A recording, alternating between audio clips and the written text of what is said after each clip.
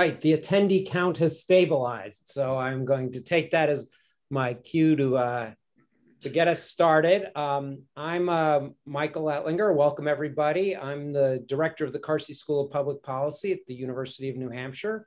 Um, we're here to discuss the first 100 days of the presidency of Joe Biden, uh, a topic that he himself will be addressing uh, tomorrow night before a joint session of Congress. We'd originally scheduled this for tomorrow night, but uh, we thought we couldn't handle the competition for your attention, so we moved it to tonight. Um, so thank you all, uh, everybody who uh, followed us to, to this time slot. Um, so President Biden took office with a lot on his plate. Uh, his predecessor and his predecessor's uh, uh, supporters had challenged the legitimacy of the election results uh, to an unprecedented extent. the new president outlined a set of four crises that he set uh, for his administration to address uh, COVID, um, a unique economic recession, escalated demands for racial equity, and a do or die moment on climate change. Uh, he has passed the American Rescue Plan to address COVID and the recession. He has the American Jobs Plan uh, and is about to unveil the American Families Plan uh, both of which address longstanding challenges facing the economy and American families, uh, both of which also address, um, to, to, in other ways, uh, longstanding issues of equity and climate change. Of course, there are disagreements about whether these four crises are all crises, um, uh, whether they are the priority issues he should be addressing, and to the extent they are, whether the administration's approaches are the best. Um, tonight, we plan to analyze uh, all that more than debate it. Um, there's certainly other channels for you to hear debate on, on all of that. Um, we have a terrific panel uh, uh, to do that, uh, consisting of an esteemed UNH faculty member, Ellen Fitzpatrick, an outstanding postdoctoral scholar in Ryan Gibson, uh, and two UNH uh, alum who are highly accomplished and continue to give back to the university, which we much appreciate, uh, Rich Ashooh and Ellen Nilsen. I'll uh, introduce them more fully as we go along, but for more details uh, on their excellence, you can look at the uh, website webpage for this event, and you can and you can um, link to and you can there are links to their to their bios. Um, I'm going to start by asking some questions myself of the panelists to get us going. If you have the audience have any questions, click on there's a Q&A uh, button link uh, located at the bottom of your Zoom screen. If you click on that, it'll open up a separate window that you can type in any questions that you might have, and we'll try to get to them. All right, without further ado, we'll get going, and I'm going to start with you, Ellen. Um, thank you for being here, uh, Ellen, as a renowned and award-winning historian here at UNH, uh, who is often asked uh, for your perspectives by really most of the country's leading major media outlets at one time or another, um, and your perspective specifically on current events and how they relate to modern American history. Uh, and also as someone who's studied and written about the presidency, maybe you could start us out with like why 100 days? You know why why are we focusing on this now? Is this is there a precedent for this or is it a new thing? Is it in the constitution? Why 100 days well, every president since Franklin Roosevelt has been dogged by this uh, period of analysis once uh, their 100 days have passed, because Franklin Roosevelt uh, came into office, of course, uh, in March of 1933 in a terribly low point in the Great Depression. And um, he, within 100 days, uh, was able to put through uh, a series of legislative acts with the, uh, obviously the Congress put them through, he introduced them, and in cooperation with the Congress, they really began a process of revolutionizing the relationship between the federal government and the rest of the nation. It was an extraordinarily productive period. Um, some 15 pieces of major legislation were passed. And um, I won't itemize them all, but I would say that most of us uh, still feel the effects of the changes that occurred uh, during Franklin Roosevelt's first 100 days. Uh, uh, just to give you a, a few examples, of the legislation that was passed, the Tennessee Valley Authority was established in those first 100 days. The Glass-Steagall Act, which created the Federal Deposit Insurance Corporation, was created in the first 100 days. The Truth in Securities Act was passed, which began the process of having the federal government regulate the stock market. Franklin Roosevelt took the United States off the gold standard with the Economy Act, uh, which closed the banks briefly and what Roosevelt euphemistically called a holiday, and then reopened a third of the banks in the country uh, that were deemed by the federal government to be safe and encouraged depositors that it, they could now bring their money back into banks that they were safe. It's been said uh, one, one of Roosevelt's advisors said that uh, it, in this uh, period that capitalism was saved in eight days as a result of some of these measures that Roosevelt took. And of course, there were a series of relief, uh, public relief and employment programs that were passed as well. So it was a period of extraordinary activism. And the contrast with today, the comparison, of course, is with this terrible uh, pandemic that we're living through and the challenges they have imposed upon the American people. The contrast, of course, is that um, it was said then that um, it, of, of the Congress, that the Congress forgot to be Democrats and Republicans. They banded together to cooperate and to assist Roosevelt in doing all of this. So that's the 100 days. Um, in July, when the 100 days were passed, Roosevelt sat back, gave a fireside chat to the nation, and said, let's look back on this 100 days that have gotten the wheels of the New Deal spinning. And so uh, that was uh, in part uh, where the reference comes from.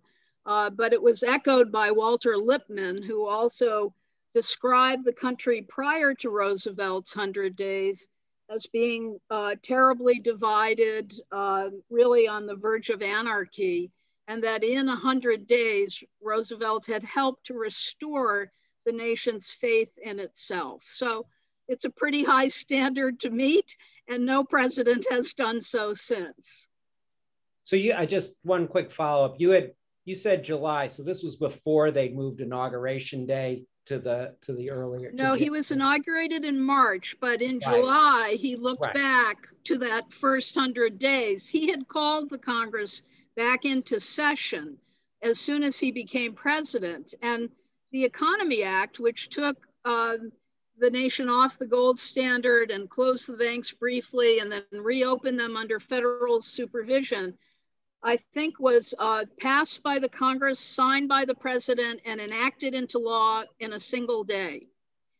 It's, it's unfathomable when you think about what has uh, been happening over the last uh, decade or so in American political life. So, Ella, um, you're the Vox White House reporter, or, or is this, uh, are you seeing this wonderful, uh, you know, bipartisan unity behind the president. And uh, uh, I won't even make you answer that question. Uh, but I, I, will say, what, what, let me ask you this. Um, it's going to be a list that's far shorter than Roosevelt's, but let, what would you say, just from the administration's point of view, they think of as their two or three things to, that they've accomplished, you know, successfully in this hundred days? Sure. Well, I mean, I think obviously the first one and probably the most pivotal one is is COVID. Um, that you know that is the thing that we have all been uh, living through collectively over the past year. That is the thing that has been top of everyone's mind, just on you know when when when will this end? When can we resume some semblance of normalcy again in our lives?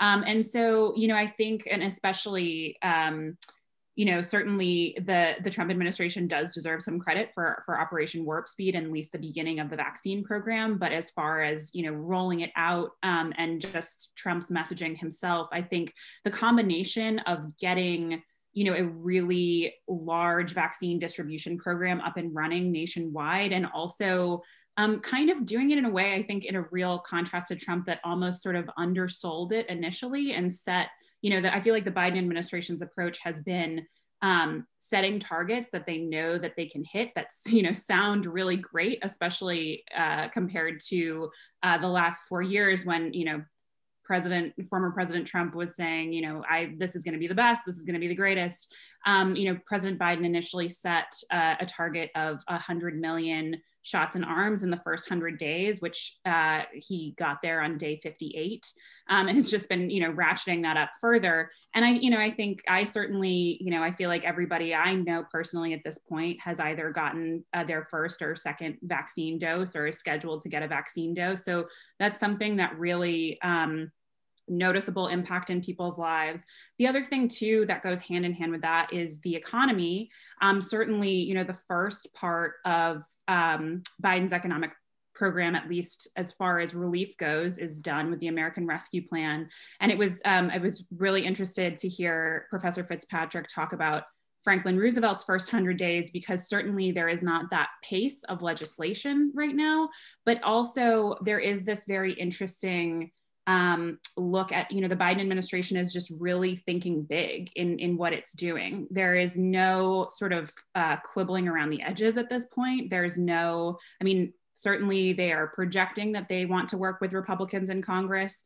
Um, bipartisan talks are are happening uh, on the infrastructure plan. But i think you know a lot of democrats that i've talked to on capitol hill think that this is probably going to go via budget reconciliation and that De- Biden and Democrats um, really want to pass big policies that have measurable impact on American lives. They really want to make sure that the economy is um, is is going big um, and is going great guns, and and that is definitely number one and number two.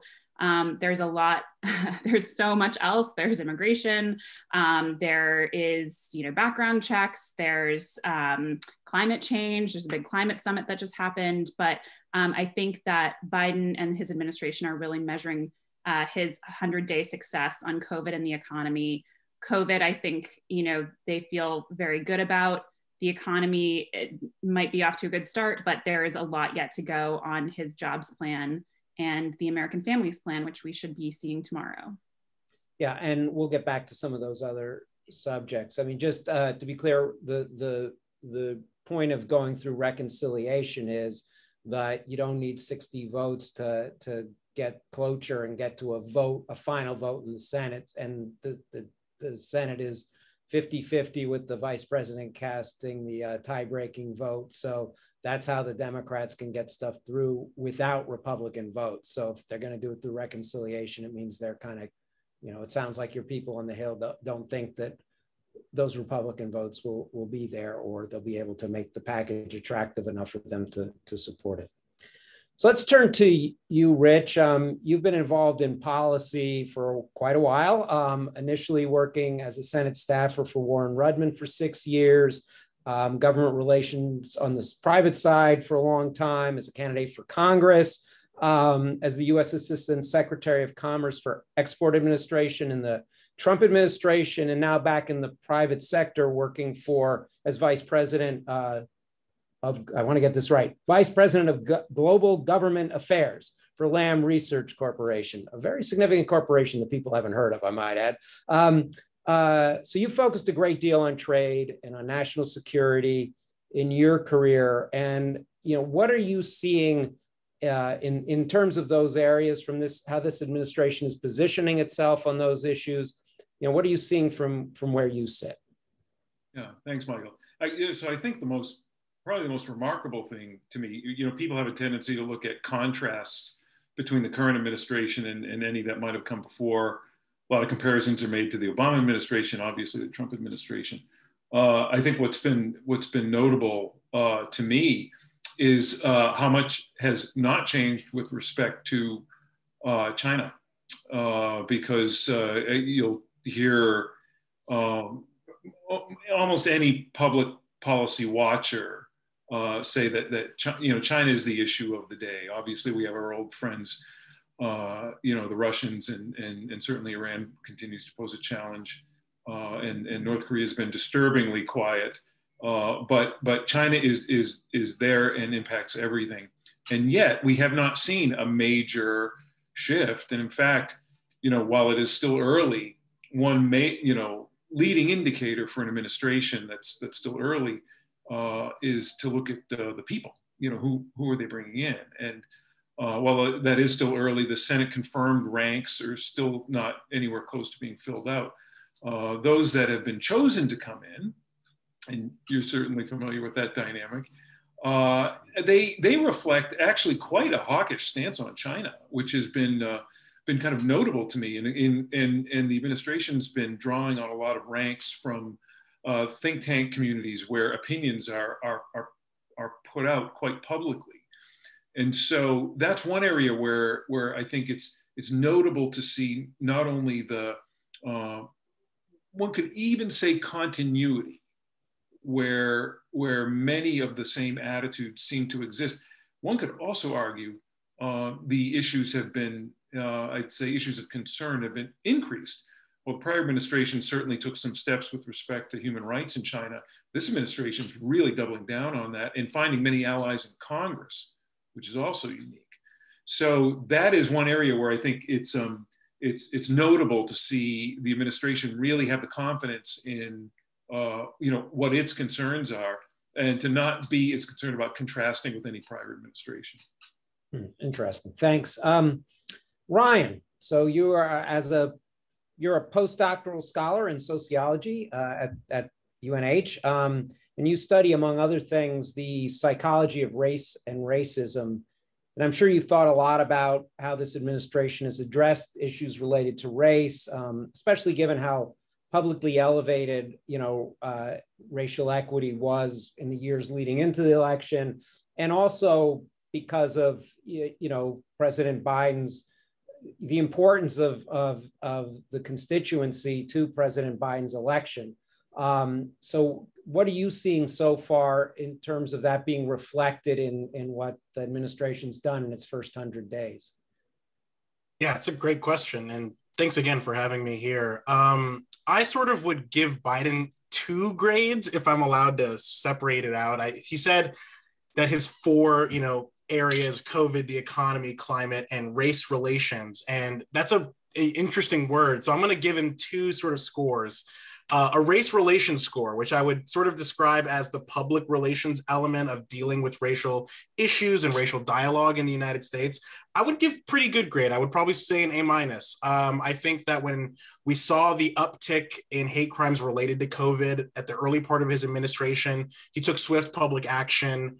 Um, when the Atlanta spa shootings took place, we saw, you know, a conservative, a conservative sort of effort on his part to sort of stay restrained, but nonetheless meet the challenges of senators like Tammy Duckworth, who were wanting more representation in Congress. They were able to solve issues like that pretty quickly. And I would give the administration credit for being nimble when it comes to dealing with issues as they come up. I mean, just recently we finished the trial of Derek Chauvin.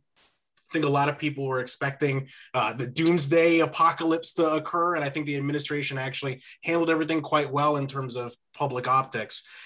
That being said, and this I'm sure will come up with other people, the grade we're going to give the first 100 days when it comes to actually addressing racial equity structurally and fixing and changing the rules, I would give, I guess, an incomplete, you know, because we haven't really gotten there yet. But it's not just not there yet. I would describe it as like that student who's asking basic questions before the final exam and you're like you're getting it incomplete but you're still i don't know i'm worried about you. Um, as we're seeing with the american rescue plan as ella mentioned we had reconciliation as you mentioned as well. With the american jobs plan it also looks like that might be reconciliation and the major major issues of structural racial reform like the george floyd Policing Act or the John Lewis Voting Rights Act or the For the People Act.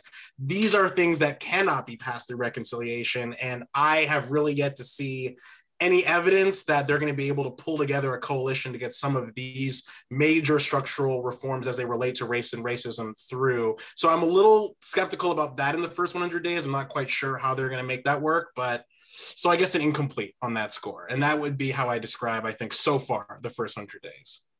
I'm not giving any grades. Um, Ellen, let me, you know, I think all three of the other panelists, either explicitly or implicitly, kind of talked about how Biden, you know, re- Biden relative to what has just come before.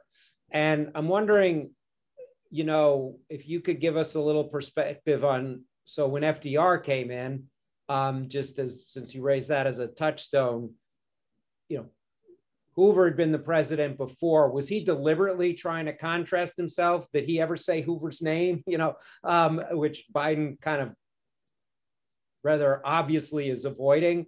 Um, uh, you know, what was that? What was that dynamic? Well, he didn't really have to say Hoover's name. It was on the lips of many, many Americans. The unemployment like rate, the unemployment rate, uh, yes, exactly, was 25% in, uh, in March of 1933 when FDR was inaugurated.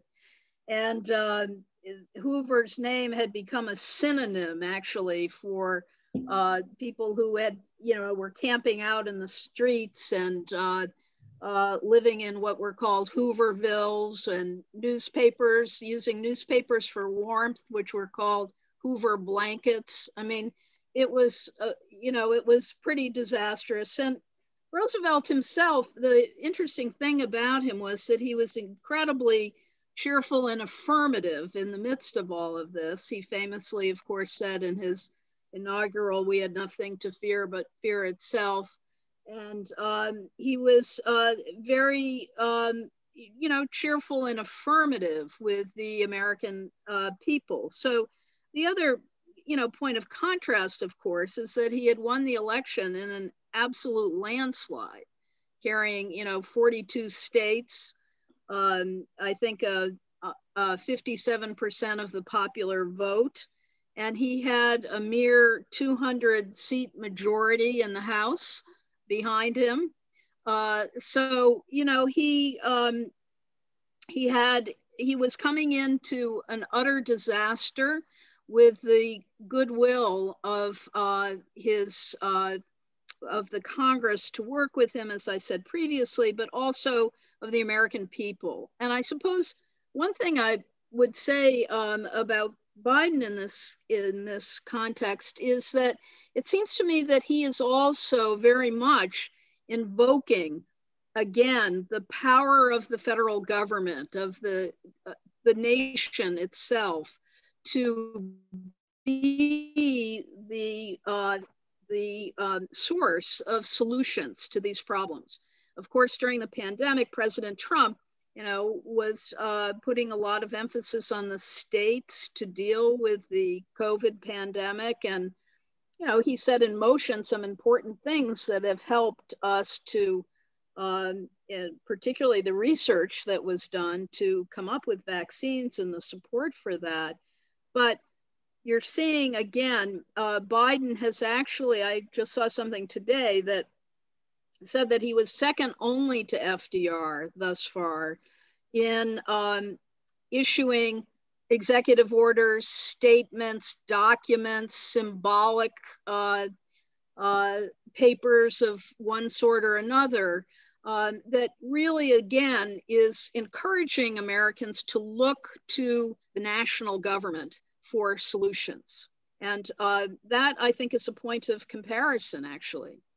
Yeah, it's interesting. You know, I mean, one thing that's interesting is that Biden is not following an anti, like a small government Republican per se. I mean, that was not, you know, Trump's main argument, unlike other Republicans who've run for president who or mm-hmm. who, you know, really in Congress and whatever. He that that was not where he was coming from. So I think that's, you know, it's sort of it's it's it's a different dynamic maybe than we've seen when other Democratic presidents have come in. I just quickly say I was once in Spain when the unemployment rate was 25% and the government's approval rating was 20%. percent mm hmm And my brilliant analysis was that was not a recipe for political success. So, and it wasn't. But um, so Ella, I, I, sort of asked you what the big claims to fame at this point that the that the White House and, and President Biden would focus on. Um, on the other hand, you know, even the best script for the first hundred days bumps up against harsh realities and and uh, you know plans go awry. What do you think? You know, where do you think the Biden administration has been most pushed off script, or you know, kind of fumbled the ball a little bit in what they were trying to accomplish. Yeah, I think uh, I think immigration is probably the number one thing, and it's going to be interesting to see um, if this uh, becomes an issue. If Republicans make this an issue in the 2022 midterms, which I think is pretty likely.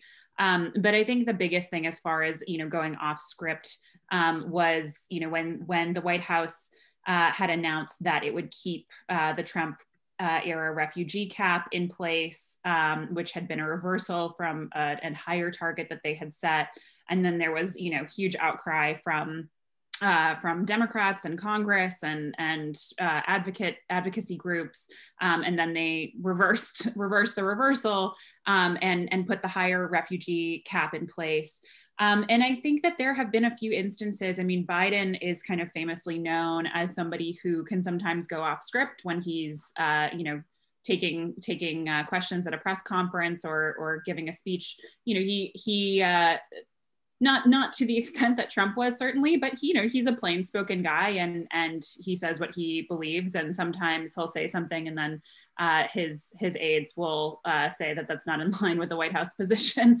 Um, and uh, I think that there have been a few instances, uh, notably that that uh, you know situation around the refugee cap, and also some of the reporting around the uh, decision to pull troops out of Afghanistan, where I think that Biden has sort of overruled um, some of his his top people giving him advice and has essentially you know made made a decision on his own um, whether for political purposes, whether it's because he just believes that's the right thing to do. Um, he was very adamant uh, on the Afghanistan decision, which is one where Democrats supported him, Republicans um, did did not as much. But I think that there have certainly been situations where, you know, at the end of the day, he is the last person who gets to make the decision, and some of those decisions have haven't necessarily been in line with with some of his top advisors. Um, but on the immigration issue, I mean, immigration, as Biden is finding out, certainly is an enormously complicated topic. It's uh, it's been tough. You know, it's been a situation for um, every president to deal with. Obama uh, had to deal with it. Trump uh, certainly uh, has his legacy tied to to that, and um, you know, Biden is running into kind of the confluence of the effect of the Trump era immigration policies now being um, somewhat over, or at least the perception of those being over among um, migrants in Central America um, who you know want to come to the United States if if there's a chance that they will be um, let in um, or processed uh, more humanely. Um, but there's you know still a global pandemic happening. There are still uh, rules that were set in place during the Trump administration that Biden is continuing to limit the number of people coming in um, due to due to COVID. Um, and so now there are situations where um, you know families uh, can can also in effect be split up because children can come through but adults cannot. Um, and it's it's an enormously difficult situation. It's driven by natural disasters in Central America and hurricanes and economic stability um, and all of these things that are, you know, sort of deep underlying problems. Um, and it's not as easy to, you know, just you can't snap your fingers and fix it from one administration to the next. Um, so I think that that is is number one. Um, and as I said, you know, I think that this is something that Republicans um, could very well message on um, into 2022, and it will be interesting to see how they do that. Yeah, um, just a, a follow up on that. I mean, on Afghanistan, you know, he believes what he believes and he made the call. The refugee flip flop, that wasn't him saying something at a press conference that was off message. That was, weren't those all like pretty much official announcements? I mean, do you have any sense of what happened there? Uh, you know, because it was very strange. It was a strange thing for them to, I thought, for them to roll back of all the things they might have done. Yeah, I mean, I uh, admittedly, our, our, immigration reporter follows this more closely than I do, but um, you know, I think that that you know, from from reporting, I think it's it's kind of a struggle um, between you know political optics and um, and also just just having to deal with a, a very tough situation and a very tough reality. Um, and i think that you know it's something that you know reporting uh, was that that biden you know took a long time to make a decision on it. Um, and you know then you know kind of outrule or overruled uh, Secretary of State Tony Blinken, who had been advising him to you know sort of uh, raise the cap of, of refugees and, and decided to initially keep it um, at the, the Trump era level. And, um, you know, I, I, some, some reporters and, and I had heard that this was sort of a situation where Biden kind of made the decision uh, himself at, at, the, at the last minute. And then uh, there was kind of the fallout from, from there. Um, but, you know, these, these are things where, again, it's, you know, there are a lot of smart people in the room, but sometimes things don't always go according to plan. Um, and that was definitely a moment where, for a White House that is extremely on message, uh, especially compared to the previous administration, um, everything is rolled out very uh, cleanly, usually. That was the exception to the rule. The lack of leaks must ruin some of your fun. Um, but uh, uh Ryan, uh, you you also study immigration, actually. So you know do you what's kind of what's your perspective on on how this has been happening and you know what's been happening at the border. And you know i do think one thing that's been kind of underappreciated is like how bad the situation is in a lot of these countries where people are coming from. Just you know you can imagine going through a pandemic like this without the resources of the united states to backfill people's pocketbooks and all that. Um, so ryan i mean what what's your yeah, um, immigration, especially in the United States context, it is one of those issues that really hits at the core of being American, which is why I think it always is so important. And you see it come up in every election cycle, right? In in the case of border crossings in the South, you're talking about issues of justice, issues of fairness, but also questions of deservingness and questions of security, um, which is a huge part of the American imagination about what's going on in the South, right? So I think what's happening here is, you know, one, I think Biden is a little bit underselling how crazy it actually got. Um, they tried to, Biden, I think, tried to describe it as like a fairly normal or seasonal uh, sort of uptick when it was a hundred and over 170,000 uh, apprehensions at the border. And that's not including the thousand or so getaways that they call them every day, right? So, but that's only a, a part of the reaction. I think where Biden actually has an opportunity and they have, and the administration hasn't stepped up yet is so often in what typically the the right tend to do when it comes to immigration is talk about it in terms of security and the left talk about it in a very different type of way. But I think right now, what's clear, given the amount of families and unaccompanied minors that are crossing, it really should be a humanitarian focus. I mean, call it a crisis, but call it a humanitarian crisis, not a security crisis. Um, and hand, and talk about the resources necessary.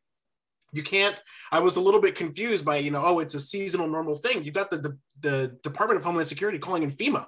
That's okay you know like it's it's covid it's a lot of issues all at once but at the end of the day i don't think the administration's framing it the right way in a way that i think would actually get the resources there that that really do need to be there. So i think that there's a little bit of um i think he would rather have it not be a problem and unfortunately it is and sort of watching how his administration and he himself are, are navigating that is fascinating to watch but certainly not in the first 100 days have we seen anything concrete in terms of what the rules are going to be legislatively. Of course, he passed more executive orders on immigration than any other issue in his first 100 days. That was his priority in terms of executive orders. And I, I think we're just only beginning to see what that's going to pan out to be. But I think there's a messaging uh, issue that needs to be attenuated to. Yeah, I mean, he did send over legislation on on immigration, and there's of course the Dream Act. There's various reform acts floating there. But um, I mean, I do think one thing it's worth pointing out is that immigration actually does have a, they were never able to come to a deal, but there have been genuine bipartisan efforts to make progress on immigration, which kind of got sidelined, let's say, under President Trump. Um, it'll be interesting to see whether the Republicans who have been who wanted to work on this, and there've been a decent number of them, uh, uh, you know, kind of are able to navigate sort of from kind of the Trump dominance of the issue on the Republican side back to where they were really. I mean, which isn't where Biden is, but there was there was you know they were on. They were sure. I mean, and I think for better or for worse, though, Trump, you know, he was president for a reason, right? I think whether it was you agreed with him or not, you knew exactly what he was about and you knew what he was trying to do with the border crisis. You knew his perspective, you knew his stance. You could guess for better or for worse what the administration's actions were going to be.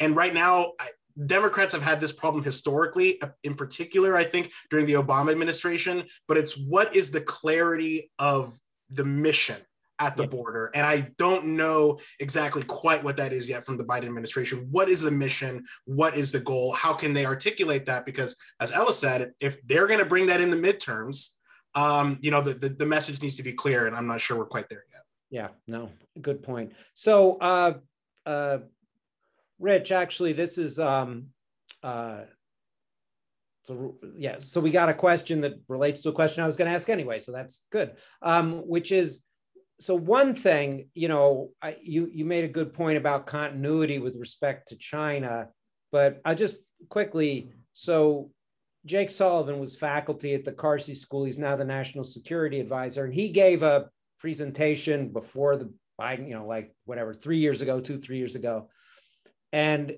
and uh, you know what he was saying then was that you know whatever you think about the things we have to be adversarial with China on there's also a bunch of things we need to work with them on as just two world powers. I mean, that's just, um, uh, you know, uh, the reality of it.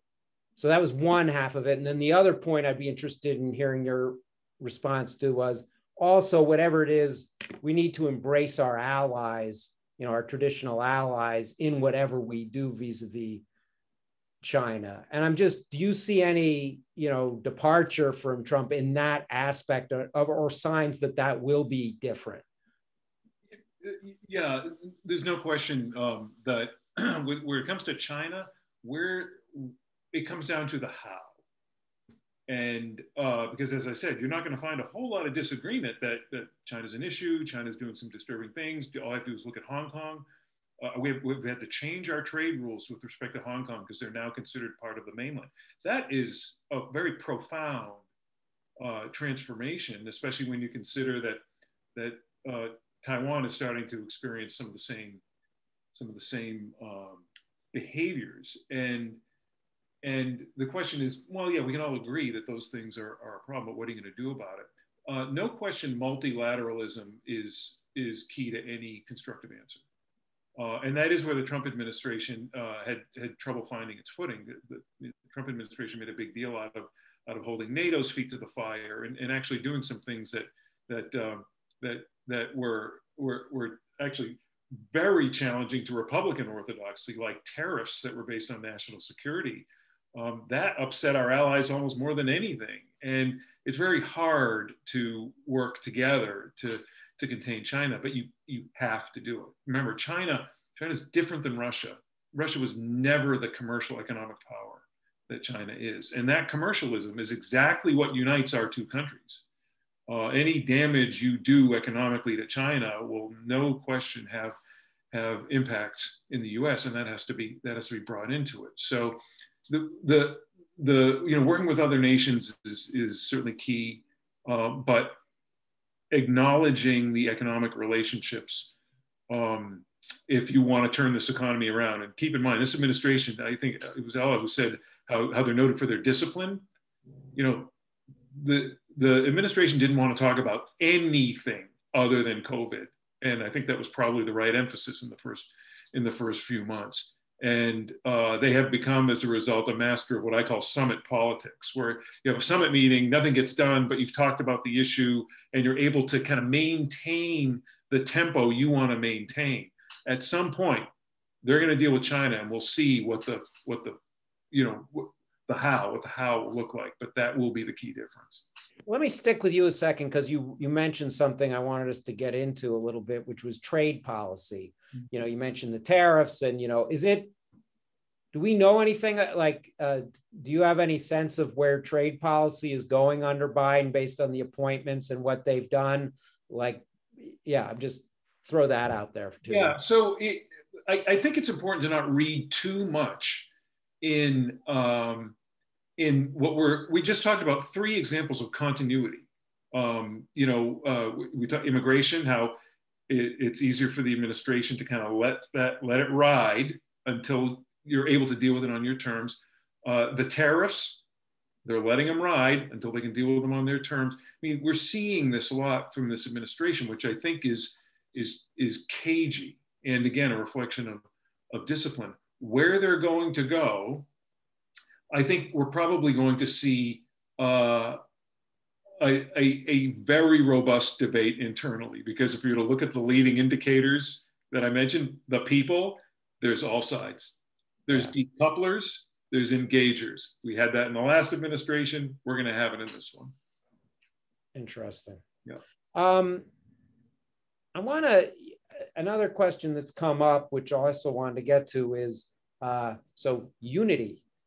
Um, you know, uh, President Biden's inaugural address, emphasized us all getting together and solving our problems. And you know, if you look at polling, the public, you know, wants people to, to get their leaders to get together and just solve problems and cut the politics out.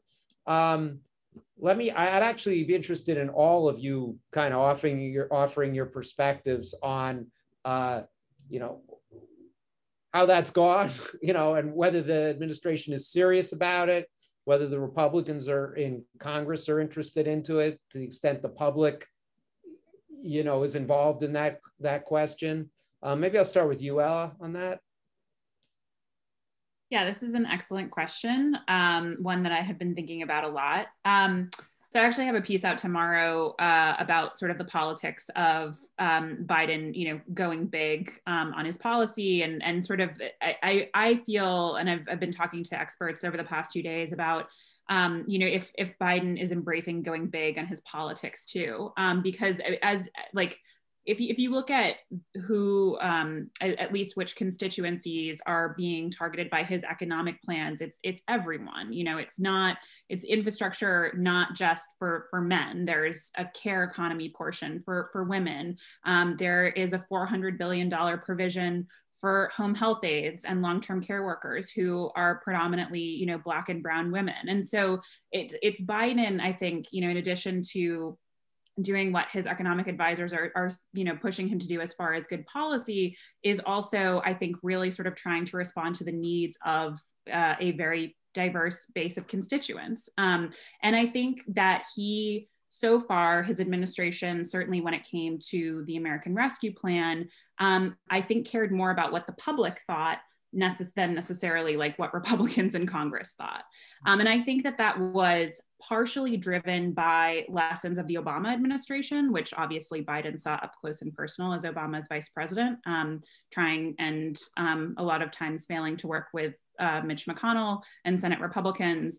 Um, but also, I think that I think that the events of January 6th and the uh, Capitol insurrection happening right before Biden's inauguration also had a really deep impact um, both on Biden and on Democrats in Congress. I mean, I remember um, being on Capitol Hill uh, a few weeks after that happened and talking to Democrats who were basically just saying, um, you know, lawmakers who are essentially saying that this was, a, you know, this is not just partisanship and political disagreements this was a direct you know threat to my life and my family. And this is how i view you know at least the certainly republican um, members of the house who still voted to um, decertify the election results. This really painted um, uh, you know this this made tensions over there in, in capitol hill um, far worse and far more personal. Um, and so I think that, you know, it's going to be really interesting to see. And I don't know yet exactly how things are going to go as far as the infrastructure plan. Um, you know, certainly the Biden administration is telegraphing that um, that infrastructure is different and they want bipartisan talks. They want some sort of unity. But at the same time, if you just look at the sheer price tag of um, the economic proposals altogether that that they are proposing, it's you know something around you know like six trillion dollars. Um, that is, I see to me uh, is is designed to you know really try to get people direct things that they can see in their own lives and respond to needs um, that that you know some polls show are are broadly pretty popular in the country um, rather than sort of getting bogged down in unity and bipartisanship on capitol hill And I don't know if that's going to work, but it's an interesting um, political theory to test out in the next few years. So, Ellen, is there, uh, I mean, this is obviously very different than FDR. So I won't reference that to FDR, but are there like, well, I'm not, I'm not so sure that it's so different. Okay. In point of fact, as I was listening to Ella, I was thinking that, you know, when people feel um, really the impact of government in improving their own lives uh, in a very direct way, that um, you know is a powerful thing. Uh, Fra Franklin Roosevelt's New Deal did not end the Great Depression. On the other hand, he was elected to another three terms. Um, and part of that was uh, the sense that people felt uh, first of all, the economy did improve, uh, certainly until 1937. Um, and the fact that they felt that the government was working for them uh, and they could feel the impact of these big legislative programs. Not everybody, not universally, not equally, but very, very broadly and significantly. And um, that kind of um, you know, that kind of uh, effectiveness, I think, really uh, is uh, obviously it speaks for itself, and particularly in the face of uh, the kind of standoffs that there have been, and the way in which so many Americans have felt uh, so uh, alienated, really, from the business of government, that what's happening in Washington isn't really helping them. Remember, this was Trump's pitch himself that he was thinking about, um, you know, working people and uh, trying to reach them and uh, who were forgotten by those in Washington. So um, I think that Roosevelt was quite successful in that way. I think it resonated. I think it he had his critics on the left as as well as does Biden, um, and certainly on the right. Uh, but you know, I think that uh, it's an interesting point of comparison when you think about the federal activism that Biden is really advancing here. You know, whether uh, how successful it will be, who knows? You know, you can't judge by the president's first hundred days how successful their presidency will be or how much the American people are going to like them. John F. Kennedy had a disastrous uh, first hundred days with the Bay of Pigs invasion was the worst uh, disaster in his presidency, which took place within, you know, I think 80 days. And yet, um, at the first 100 day mark, he had the highest approval rating of any president in modern American history 83% of the public approved of his performance, even after the disaster and he had been elected by one tenth of 1% of the popular vote. So obviously, all those people didn't like him on election day. So uh, a lot can change, uh, but you know, I think the public can also be quite forgiving. And in the midst of the pandemic, if Biden can start moving some things and making some things happen, I think that resonates with the public will yeah. resonate, I should say. I shouldn't make predictions. Historians are very bad at that, but Kennedy had some skills apparently. Um, so Rich, are you feeling the unity or uh, you know, what are your what's your perspective on this? Well, so uh, there's a reason why unity and unicorns have the same prefix. They're very rarely seen, uh, in particular in Washington. You're lucky if you get unity in, you know, within the parties. Um, but that said, um, we you know we could see compromise and i think that i think we that would be that would be acceptable and compromise has a name in washington and it's not joe biden it's joe manchin uh, you know who for those of you who aren't senate geeks is the is the senior senator from west virginia and a, and a fairly conservative democrat who who might be one of those who can uh, bring the reality of the of the compromise that's needed to the table um, but again, that'll come down to to uh, how how uh, how those negotiations go. But no, I I um, I think I think it's a sad fact that that politicians are rewarded far more for conflict than they are for agreement. and you know that's on the voters, right? The voters need to need to start uh, rewarding other behaviors. But but but that said, you know, coming out of a crisis that was in everybody's everybody's uh, homes and lives, uh, the tolerance for uh, for actually getting things done, uh, hopefully, is uh, is better than it's ever been. Yeah. Um, actually, let me, Ryan, you want to chime in on on unity? Sure. I mean, there's a lot to agree with there. The Unity Unicorns thing. I'm stealing. We're unified. Um, um, but everyone raises great points. I am to say I'm skeptical of the public opinion is bipartisan if Republican and Democrat voters agree with it.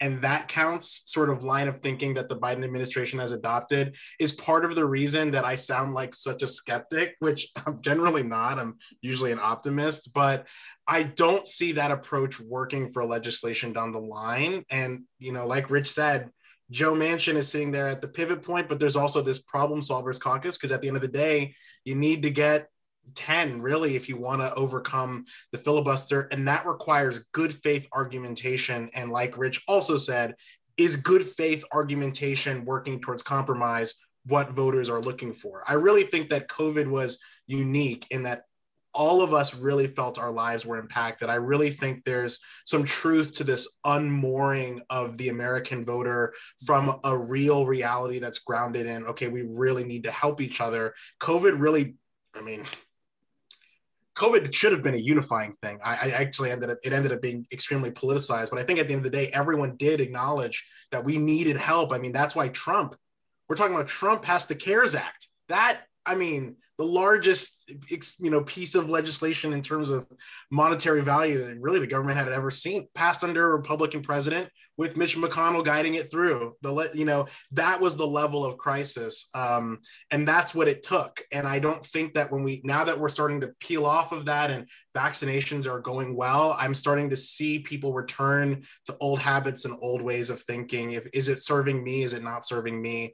Um, and i'm wondering how that's going to work on the hill. So i'm a little bit skeptical of whether Biden's really going to be able to muster it together. My hope, this is, I won't give a prediction, but if he can get some kind of compromise on infrastructure, that will bode really well, I think, down the line. If infrastructure ends up being reconciliation, then I don't see how you get some of the tougher Voting Rights Act, for example, through uh, the Senate without some big changes. So that's sort of where I'm at. I think it's an interesting perspective, but will it work? I'm not confident.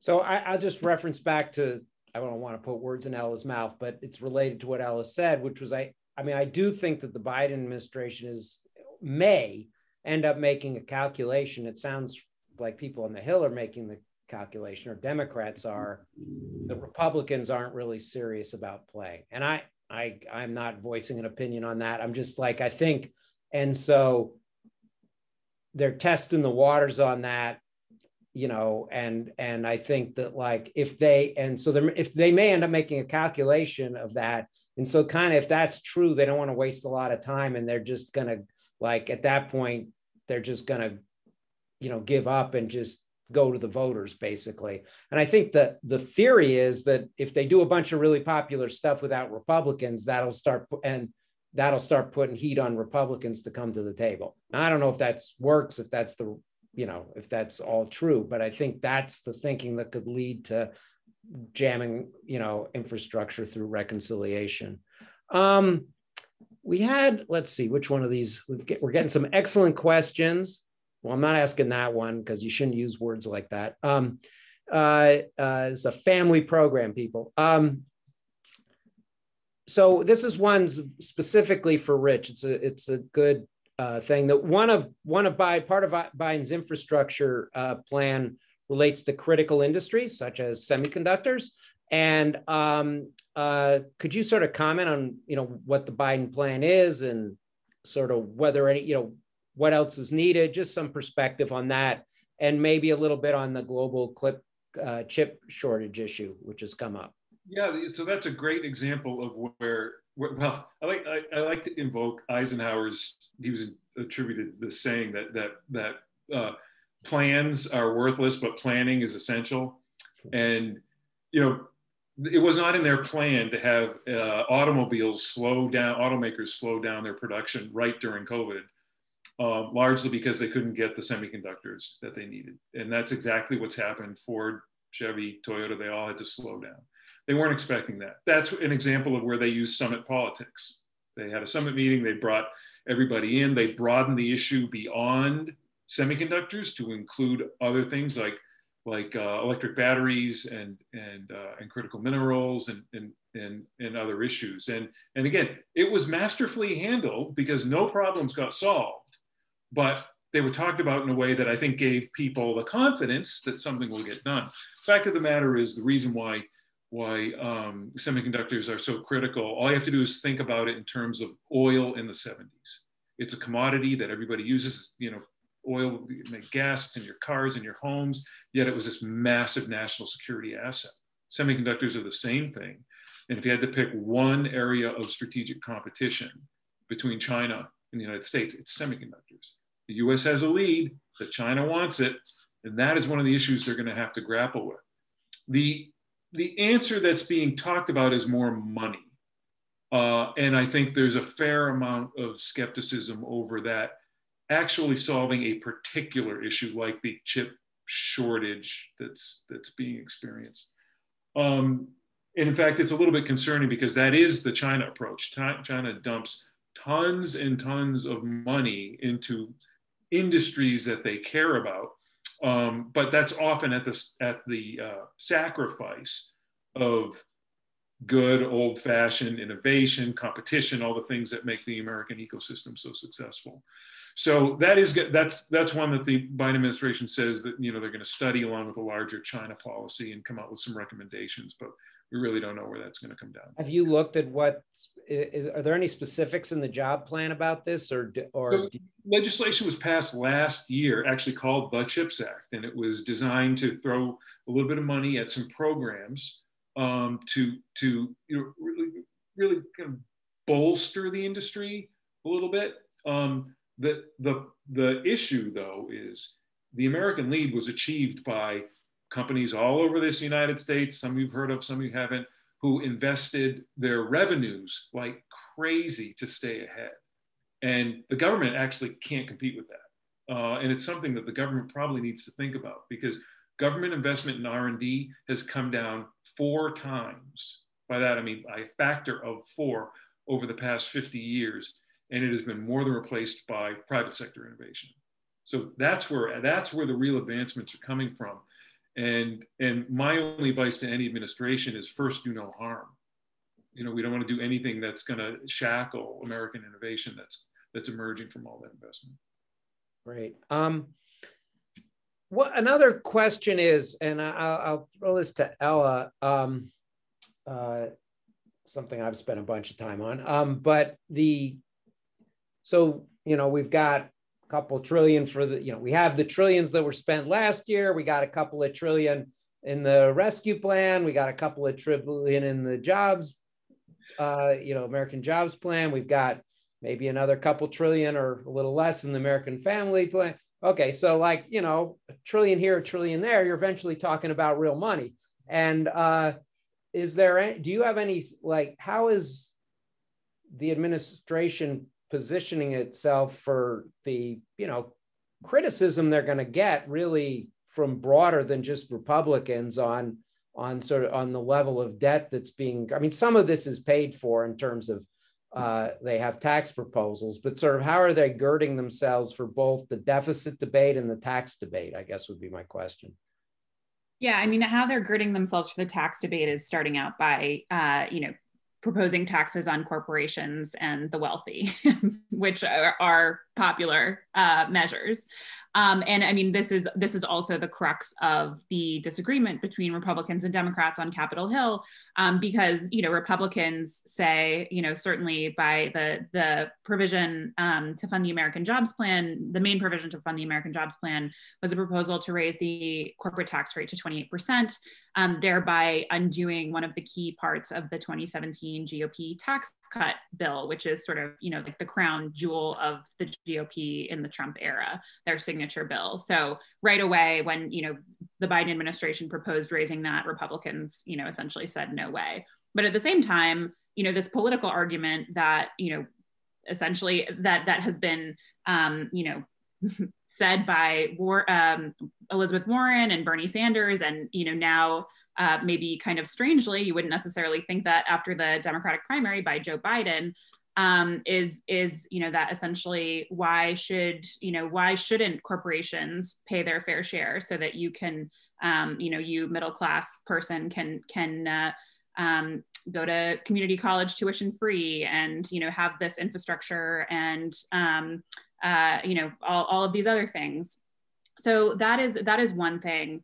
Um, the other thing that the New York Times um, reported first reported yesterday is that the Biden administration is essentially um, part of the way that it wants to fund it's this next plan that's going up is to essentially just give more money to the IRS so that they can go after people who don't pay their taxes um, and just really try to, in addition to you know other uh, raising taxes on uh, you know capital gains or or um, wealthier people in the United States, also just going after people who don't pay their taxes to try to sort of close some loopholes um, and and add more revenue that way. Um, but yeah, it's it's definitely. Um, I was talking to uh, a pollster just today about um, you know that deficit spending is is definitely not popular compared to raising um, taxes on corporations and the wealthy. Um, and and that's going to be an interesting thing to to see play out in sort of the public debate versus the debate on capitol hill. I think that that is like something where the debates are uh, very different. Yeah it'll be i mean i was going to ask you but you sort of got to it about you know where the deficits and debt um, come into this? I mean I, it, it feels like the, the debate is less sharp on that than it has been in the past. I think in part because we've, you know, people keep saying, oh my God, we've got more debt and saying interest rates are going to spike, we're going to have inflation, all this bad stuff's going to happen. And it hasn't. Now, that doesn't mean, you know, past performance may not be indicative of future results, right? So that doesn't mean there isn't some limit on how much debt you can accrue that, that starts causing problems. But it sort of does seem like damp. And it's interesting to hear you say that about the polling, because I'd sort of been assuming that the polling wasn't as strong as it's been in the past, because really the Republicans haven't been hammering and hammering on that the way you might have expected. I mean, Rich, you know, you've been involved in these kinds of discussions. Uh, you know, what's your perspective on this? Yeah, eh, boy, I couldn't agree more that the that the urgency over dealing with our debt um, uh, has, is, seems to be in the rearview mirror. And you know, look, this is a, this is an issue that doesn't lend itself well to populism. Um, uh, it's just good good budgeting. The service we pay on the debt, it's like anyone else's credit card. That's the largest single federal program. The interest we pay on our debt. It would be good to not have to spend that money. Um, but having said that, we had a pandemic. And the, the real question for us is we had a pandemic. That doesn't mean we're not going to have another one or some other anticipated thing that will do a cannonball in our financial pool.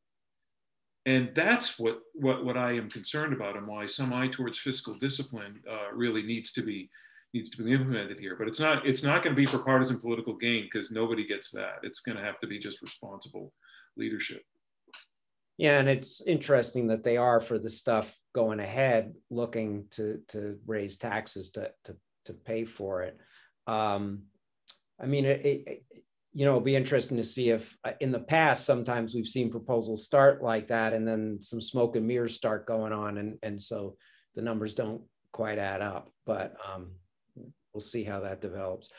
Um, so uh, uh, on deadline. We're at time. Um, I thought we'd maybe go once around the room and uh, see if people have any uh, closing thoughts. I want to ask you for predictions of the future exactly, but if you do have any thoughts on um, you know, kind of what the first hundred days might have told us that wouldn't have been obvious, I guess, um, uh, you know, prior to the, you know, prior to, to uh, President Biden being nominated. I mean, I'll just start with mine really quickly, which is I didn't expect him to, to push this hard for this ambitious of an agenda this fast. So that's mine.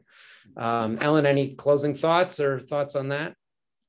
Well, yeah, I agree that it's, um, I think that he's been, um, you know, extremely active. He's also changed the tenor of our relationship to the president. It seems to me that we're, there's a, you know, we're not, uh, the world isn't turning on a tweet and, uh, you know, the constant barrage of uh, static noise out of the White House, it seems to me, has been reduced dramatically and replaced by some real action or efforts in that direction. So uh, the mood of the country, I think, has shifted a bit. You know, people are apprehensive, understandably so. I mean, many Americans have lived through the worst year of their life over the last year. And uh, there's been a tremendous degree of suffering. And I think that, uh, you know, there's an appropriately somber uh, mood, but um, you know, uh, feeling that things have have sort of stabilized from from where we were. So I see all of those as positives, and um, I'm disappointed that uh, the uh, Republican Party has uh, so many Republicans, I should say, have taken such an oppositional uh, position. I guess it was predictable enough, but um, you know, as uh, my colleagues here have said tonight, the unity is elusive and conflict is omnipresent. And where the American people fall and all of that, I'm afraid, you know, through the cracks uh, is uh, very, very worrisome. Ella.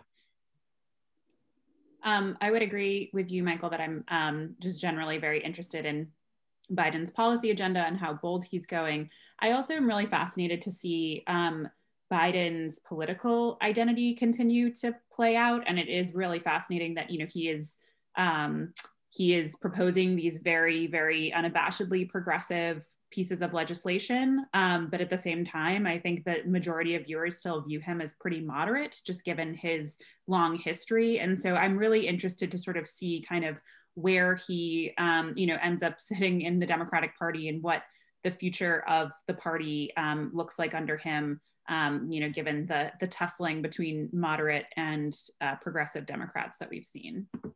Yeah, I, I read someone wrote that Obama pushed moderate policies and made them sound radical, and and you know Biden's pushing this incredibly aggressive agenda and making it sound moderate. So, um, Ryan.